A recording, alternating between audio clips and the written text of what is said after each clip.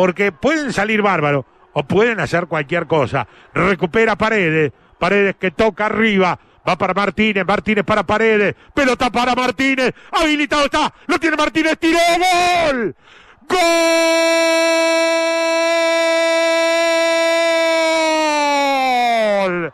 gol, argentino Lautaro Martínez, una pelota puesta bárbara para Martínez. Pisó el área. Miró y definió arriba contra la derecha del arquero a los seis minutos del alargue. En el segundo, chico, pasa a ganar Argentina.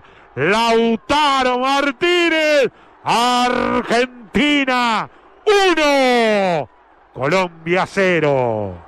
13 a 0. Si no lo sentís, no lo entendés. Dos cosas, ¿no? La primera, la el pase de los Chelsea para Lisandro Martínez es espectacular. De primera, solo poniéndole el pie a la pelota y lo deja mano a mano con el arquero. Lisandro define muy bien, como habitualmente, el goleador de la Copa América. Y lo otro, Argentina lo merece solo por personalidad y por cómo se plantó a un partido que le venía adverso y por lo por el contrario, lo flojo de Colombia, teniendo la oportunidad que tenía, realmente Argentina merece estar ganando. Y apareció el goleador de la Copa América y le apuntó a la cabeza a Camilo Vargas, que casi se la saca. Pone en ventaja a la Argentina, lo grita con los hinchas, salta la estática, se va a abrazar con Messi, lo gritan todos acá. Gana Argentina. Quinto de Lautaro en la Copa América, el goleador de la Copa 29 con la selección. Y ahora sí explotó en el estadio la hinchada en celeste, los pañuelitos al viento y al grito de Argentina. Argentina explotó el estadio y lo de camisetas amarillas quedaron resultado. Bueno, el árbitro camina, lo rodean los jugadores colombianos, el banco de suplentes de Argentina está con Messi a la cabeza de pie, que ya abandonó aquella postura de tristeza que durante todo el segundo tiempo lo fue acompañando. El Divo Martínez le dice al árbitro, ¿lo vas a terminar? No, acá tengo la pelota, dale vos tranquilo, haz lo tuyo.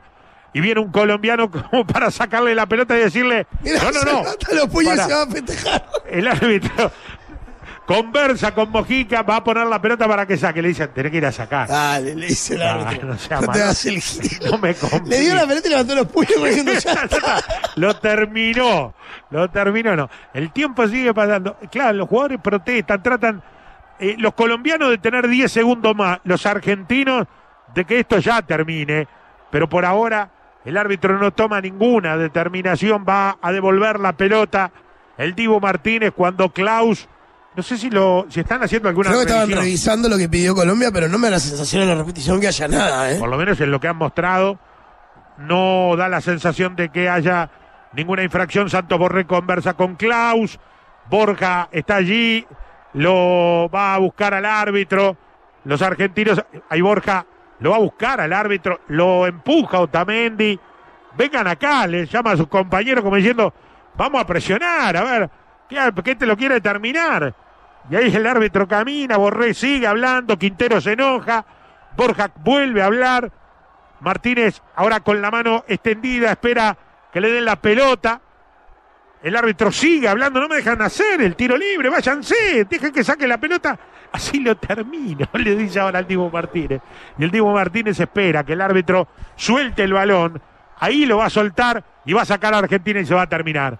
Y Argentina va a ser bicampeón de América, sumará 16 conquistas la selección argentina, está ganando 1 a 0 con gol de Lautaro Martínez cuando teníamos 7 minutos del segundo tiempo del alargue. La pelota del Divo Martínez pasa a la mitad de la cancha y el árbitro lo termina.